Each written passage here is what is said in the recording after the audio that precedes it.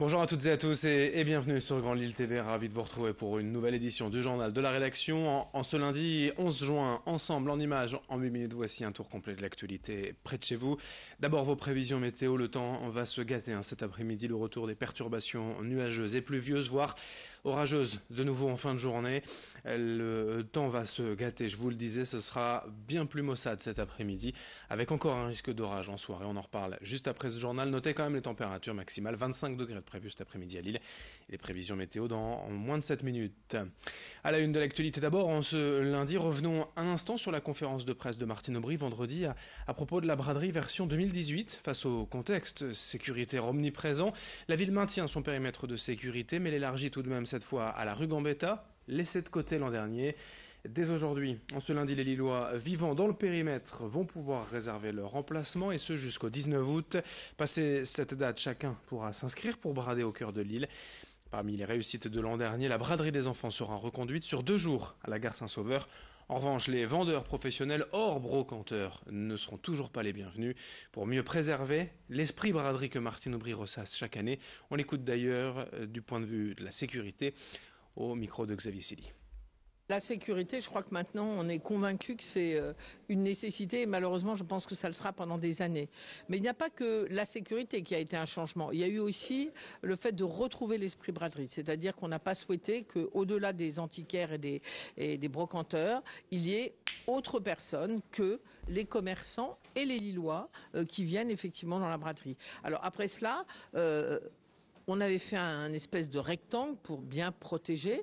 La rue Gambetta, euh, on était très gênés parce qu'on pense qu'il y a beaucoup de gens qui voulaient faire la braderie, il y a beaucoup de commerçants. Et là, nous avons travaillé, nous avons racheté euh, des blocs béton 150 pour pouvoir euh, faire en sorte que la rue Gambetta, Monsieur le Préfet l'a accepté. Ça a été beaucoup de travail entre le boulevard, entre la République et la rue Colbert. Et donc, effectivement, les rues avoisinantes seront fermée pour que cette rue puisse être ouverte. Voilà, plus euh, euh, quelques rues autour du quai du Vau, entre le boulevard de la Liberté et le quai du Vau, euh, où il y a eu des demandes et qui ne posent aucun problème de sécurité. L'ouverture des inscriptions pour la braderie de Lille au sein du périmètre dès aujourd'hui, en ce lundi, auprès de la mairie de Lille.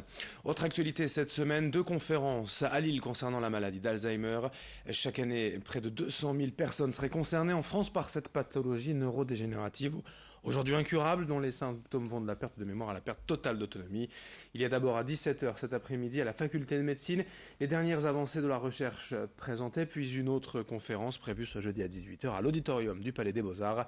Ici à Lille, le Centre Mémoire de ressources et de recherche permet à de nombreux patients de suivre un, nouveau protocole de traitement, des médicaments pour l'instant en test, avant une potentielle mise sur le marché pharmaceutique.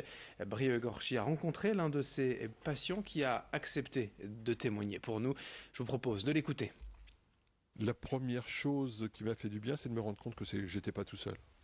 Parce que le, le choc le plus dur à accepter, c'est que c'était irréversible. Alors aujourd'hui, j'en vis bien, puisque je m'y suis habitué, j'en ai pris mon parti.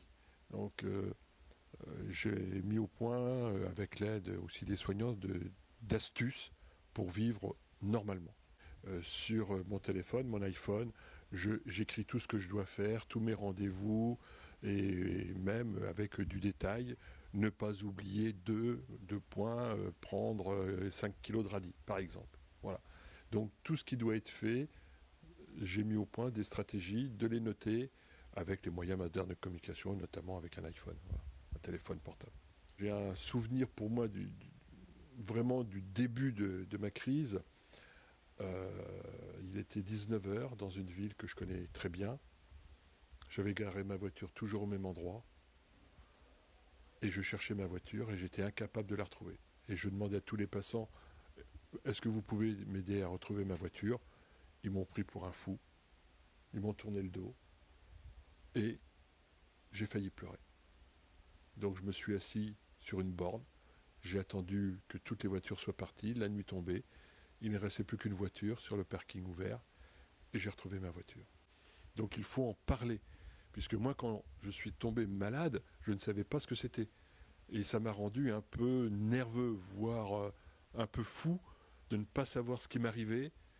Et je me suis dit, aïe, la vie est finie. Donc, il faut arriver à se le diagnostiquer ou se le faire diagnostiquer pour ensuite être pris en charge et ensuite la vie de redevient normale.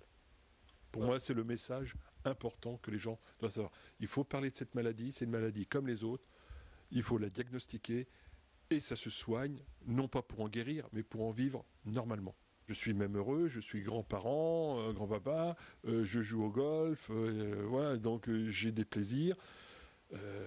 et donc on peut vivre heureux à condition de l'accepter et de mettre en place des stratégies d'aide. Et si on n'y arrive pas tout seul, de se faire aider et d'en parler. Voilà pour ces deux conférences concernant la maladie d'Alzheimer cet après-midi à la fac de médecine de Lille à 17h et ce jeudi à 18h au palais des Beaux-Arts de Lille. Dans ce journal est également à l'ERS. Depuis deux ans, le circuit Oldies Racing propose un concept unique de course de karting avec des répliques de voitures des années 20. Un projet innovant qui séduit le public, mais pour autant l'entreprise est en liquidation judiciaire depuis une semaine et si elle ne trouve pas d'investisseurs d'ici la fin de semaine, ce sera la fin. Pour continuer l'activité, il faudrait entre 100 et 150 000 euros de couvrir les frais fixes, la location du local et le coût d'entretien des engins. Aujourd'hui, le fondateur est certain de son concept, les clients sont au rendez-vous, le chiffre d'affaires est en hausse, mais Xavier Silly est allé l'interroger donc pour savoir ce dont il a besoin pour pérenniser son concept. Le rassemblement, c'est d'abord un événement festif. C'est entre amateurs, euh, euh, surtout que quand on a créé l'événement il y a deux ans, il n'y avait rien le troisième dimanche du mois. Donc c'était l'occasion d'une place à prendre. Et euh, le plus célèbre étant celui de l'esplanade de Lille, nous on était de l'autre côté de la métropole. Après, bien évidemment, ça permet de, faire connaître l'endroit, ça permet de découvrir la piste, euh, notre espace bar. voilà, c'est tout en main. Nos appels au secours commencent à passer leurs fruits avec des rendez-vous prévus en fin de semaine et la semaine prochaine. Donc, on croise les, doigts euh, pour que ça puisse se déboucher, qu'on puisse sauver euh, à la fois le, travail de notre équipe et le concept unique qui est All. Voilà, fin de cette édition. Merci à vous de l'avoir suivi. Dans un instant, sur Grand Lille TV, vos prévisions météo. Très belle journée à toutes et à tous, ensemble, bien évidemment.